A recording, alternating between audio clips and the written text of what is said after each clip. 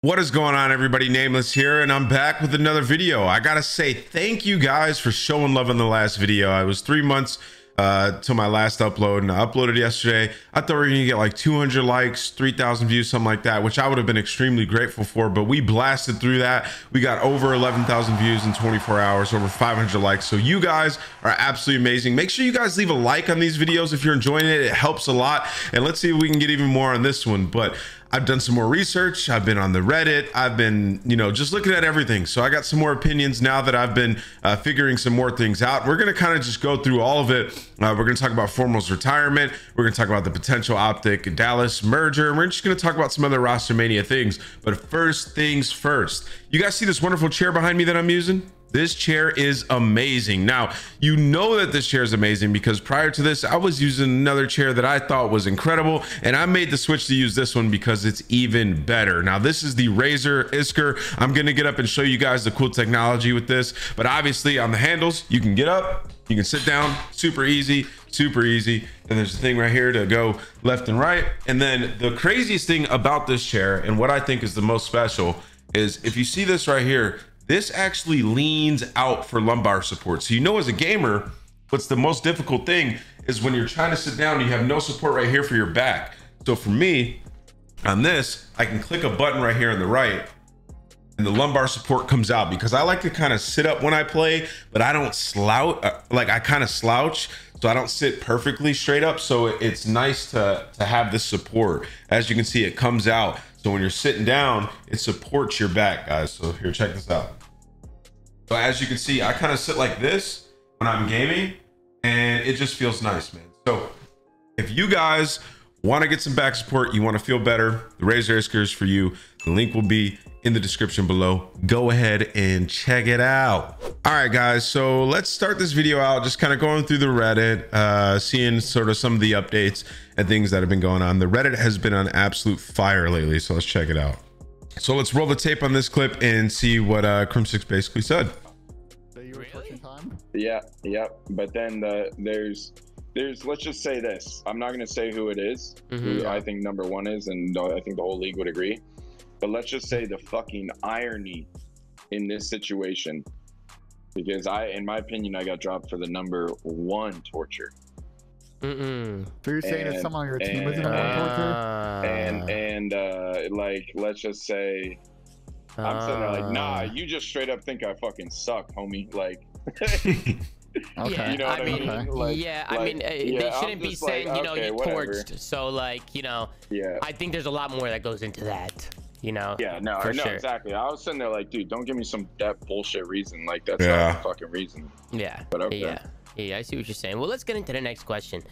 Okay, so basically saying they told him he got dropped because he was torching time in scrims, but then he's saying he got dropped for the ultimate torture. Now he leaves that up for like question who that people think it is. Um, and you can see in the chat what people are saying. It has to be Dashy, etc. Uh, which is what I thought immediately that it was it was going to be Dashy uh, because I heard that he tortures time when it comes to scrims and things like that. Um, but yeah, I mean, like I said, yeah, this basically confirms the Optic Dallas merger, which I think is is crazy, man. I've seen a lot of posts about it, so I guess we'll talk about that one first. Um, if Optic and Dallas merge, like what that means for Call of Duty, that means that there's a league spot up for grabs, which I've heard some rumors about some people getting another league spot. I obviously can't go into details about that, but it's rumor that I've heard coming around. And remember, guys, I get the same information that you guys do, right? Maybe just a, with a little bit of sprinkle of, of more info on top. But like I said, I don't go around asking people for info and stuff like that because then I wouldn't be able to make these videos because I would for sure know. Um, but yeah, uh, I have heard a rumor that there's a there's going to be somebody coming in and getting a spot. Um, and then thinking about the Optic Dallas merger, I mean, I think it's pretty good uh, going forward. Uh, you think about Hastr0 and H3CZ when they had Eon. This isn't the first time that they've merged their organizations. There was an organization, well, a team called Eon back in the day, which was Envy and Optic and Black Ops One, where they were all under one one team, sponsored by the same sponsors, and it worked out pretty well. And then somewhere along the lines, they ended up splitting up. So this is an idea that has happened before that worked very well. Um, so I think that there's a lot of potential here. You put those two guys together, they're going to make magic happen. If Hastr0 and H3CZ are working side by side, I think it's gonna be unbelievable. Obviously, I think ha- Hastr0 is probably a little bit better at building rosters and things like that, and H3CZ is better at the marketing side of things. Um, not to say H3CZ hasn't done a good job of building rosters, but he really hasn't had to do too much in that regard because he's had players to make that decision for him. And now it's at a time where Optic, the players are no longer able to make those decisions, uh, and it, it just hasn't been working out for them. So looking at Astro, who has done a good job year in, year out of vetting the new talent, finding rosters and building it and creating them into winning teams.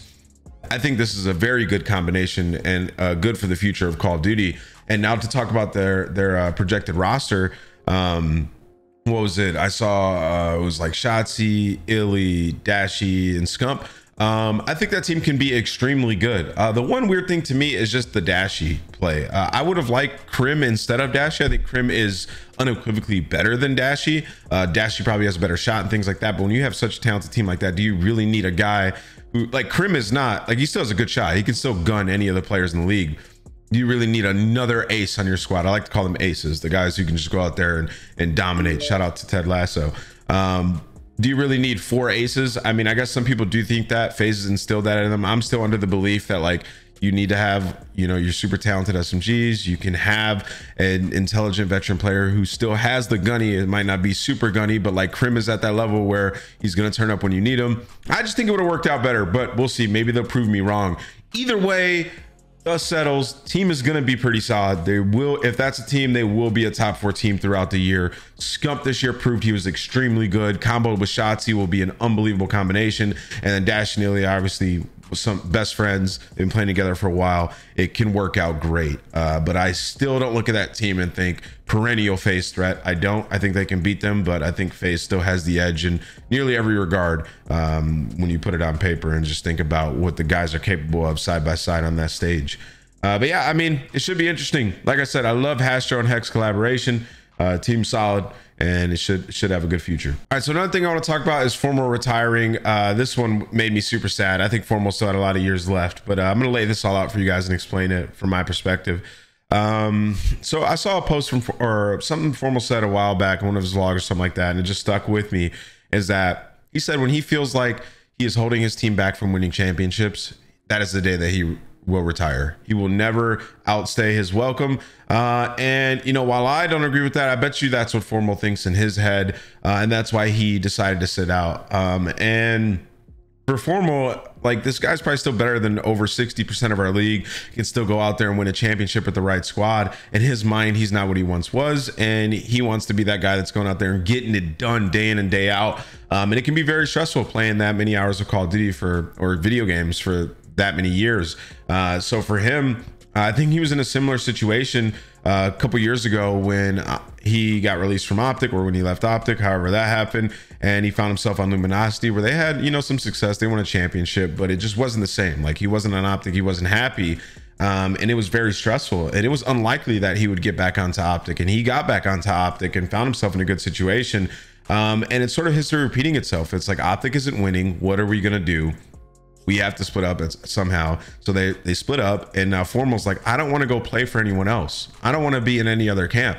He loves the Optic community. He loves the fans. He loves the people, everybody around him. It's just good vibes, and he's in a good spot. Now he's not able to compete, but for him, it's okay because he still has optic behind him. He doesn't want to go anywhere else. So I think he thought about all those emotions that he went through when he left the initial time and went to LG, and he didn't want to experience that again. He didn't want to be the guy who went to another team and didn't find his way back. So for him, it's like, you know what, screw this. I'm just going to retire, right? Like it's a combination of all these things that I'm feeling. Now, it might sort of be the tipping point where I could still compete, but it's time for me to take a break. So if Formal wants to take a year break, go ahead by all means, man. The door will always be open for him he's one of the guys, one of the top players in Call of Duty that has that option. He's like Karma. He can leave and come back if he wants, but he's going to be beloved by everybody in the community and he will be a great content creator and things like that. So I hope the grass is greener for him. And I have nothing but fond memories of this guy. He's an amazing player, one of the most talented, highest earners as you can see on your screen of all time, some of the most special moments,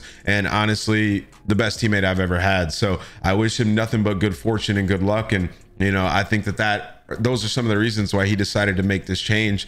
Um, but either way, Uh, I think it was a very selfless change for him. Like he he decided to to sit out for the squad and allow them to go do. You know, it, it could have been so easy for him to be frustrated and all the fans to have backed him in certain things like that. But you know, he he decided to fall on the sword, and and I think that it's a respectable move. Uh, so good luck to him. I'm sure he'll be grinding Warzone, so there'll be plenty of formal for you guys to watch. But yeah, it was a crazy day in Call of Duty when I read that. It was the only time I've been angrier at a player retiring was when I retired myself. So I guess that's saying something about the amount of respect I have for this guy. All right, moving on, guys. Here's our final bit of nudes. We have Crimsix is expected to be joining the New York Subliners alongside Clayster and Hydra for the 2022 season. Their fourth is expected to be Neptune, which would require a buyout from the Florida Mutineers. The buyout has been agreed upon too, uh, but as we all know, nothing can be made official until September 5th. Envoy is another potential fourth, though Neptune is considered the more likely outcome. Again, nothing is official until September 5th, but there are verbal agreements. Expect Crim, Clayster, Hydra, and Neptune to be NYSL starters for Vanguard.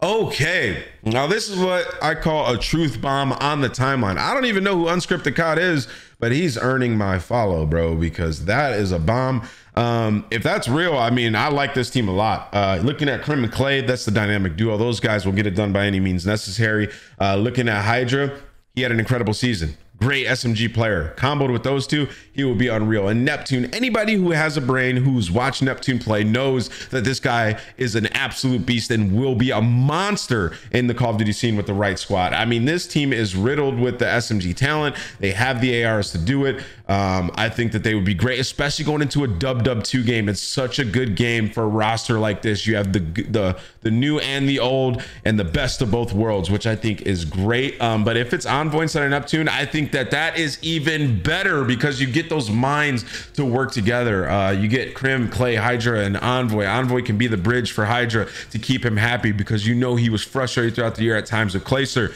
Crim can be the neutralizer for Clay. Clay can be the neutralizer for Crim. And with Clay having Crim on his team, he doesn't have to be the bad guys. Clay is not okay with being the bad guy to his teammates. Crim is. So it helps Clay a lot, which is why Clay needs that dynamic, guys. That's what you need to understand. Why New York was struggling so much is because Clay didn't have that veteran player by his side that he could rely on to work with. So it was tough for him. Like he had Asim, but like Asim is still a relatively new guy, and it just wasn't great dynamic around for the entire squad. So for Clay having Crim, Crim becomes that bad guy, and Clay becomes a lovable veteran guy in the squad for Hydra, and they, will they'll just bond better, guys. It's just how it works.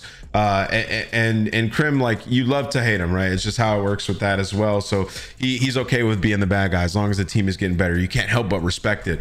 Um, so if they get Envoy, I think it'd be unbelievable, like top three team. Uh, with Neptune, I think they'll still be very good. Uh, it'll just obviously take some time and getting used to uh, Crim playing with two new guys, Clay playing with a new guy, and Neptune. Uh, it'll be a work in progress, but I like this squad. And if this is New York, I think New York has done a hell of a job in the offseason. Um, but we don't even know if this is at all true whatsoever. This could be completely fake. I don't even know how this guy got this information, um, but he earned my follow. So we'll see how that goes. Uh, but yeah, I think that's about all the information that we have, guys. Uh, so yeah, I mean, that's about it. If you guys enjoyed this video, make sure you leave a like, comment, and subscribe. We'll be back with more bangers coming up. Uh, like I said, I'm coming back. I'm bringing the energy and we're having a blast, dude. So until next time, guys, it's been real. Make sure you guys leave a like. Don't forget to leave a like and I'll see you in the next video. I'm out.